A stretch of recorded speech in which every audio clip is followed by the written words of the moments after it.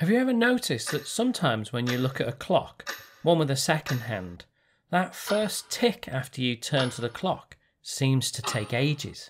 That next tick seems to take much longer than just a single second. So, why should that be? Welcome to the weird world of a phenomenon known as chronostasis. Let's find out more. I've put a clock on screen now, so give it a try if you've never encountered the phenomenon before. Look away from the screen, and then suddenly look at the clock on the screen.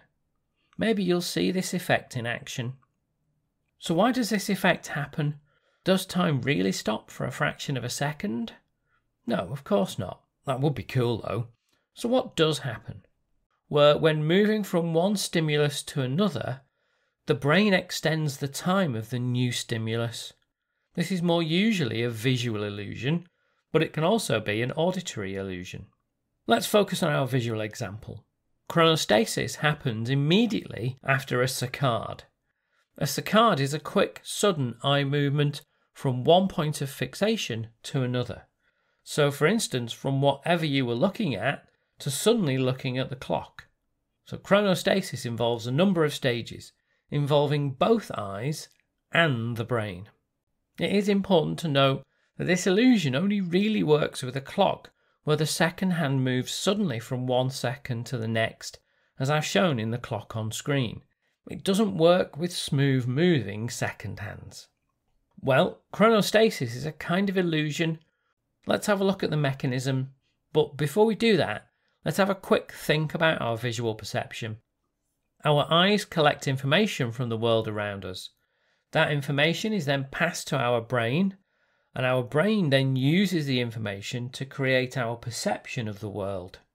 So let's imagine that you're looking at a wall but away from the clock. Light comes into the eye from the wall, and this then gets sent to the brain via the optic nerve. The specific part of the brain this information is sent to is called the visual cortex, and it's found roughly here in the brain. The brain processes this information, and this then is our perception which currently is a view of a wall. We now make a conscious decision to look at the clock.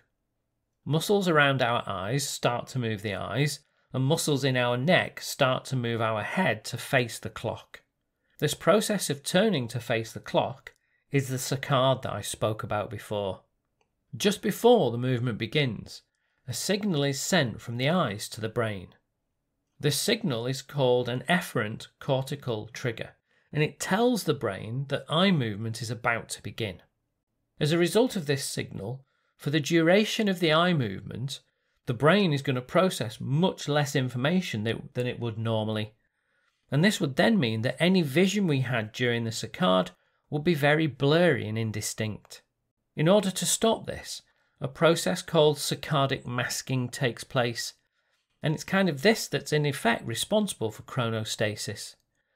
During saccadic masking, the brain blocks any visual processing of the information during the eye movement. Once the eye movement is finished and the eyes are now focused on the clock, another efferent cortical trigger is sent to the brain to inform it that the saccade is over. The brain now starts to process the information again, which is now of the clock. This second efferent cortical trigger also tells the brain that a period of time is missing from its perception. In a process called neural antedating, the brain fills in the missing perception with the information collected just after the saccade. If you looked at the clock between the second hand movements, the visual perception that you will have just after the saccade would be of a clock with a stationary second hand. The brain now fills in the time it took for the saccade to happen with that stationary clock image. As a result, the second hand seems to take longer to make that first tick than for any other ticks. The clock appears to stop. If, however, you happen to look at a clock as it is moving, the illusion appears to be broken. This is also the reason why smoothly moving second hands don't produce the same illusion. It also appears that the length of the illusion is related to how long it took for your eyes to move from their original position to finally land on the clock. If your eyes move just a short distance to land on the clock, the length of chronostasis isn't very large. The clock doesn't appear to stop for very long. If, however, your eyes moved a large distance, that took more time, and so the effect seems to last for longer. So I think that's enough for chronostasis for now. Until next time, thank you for watching.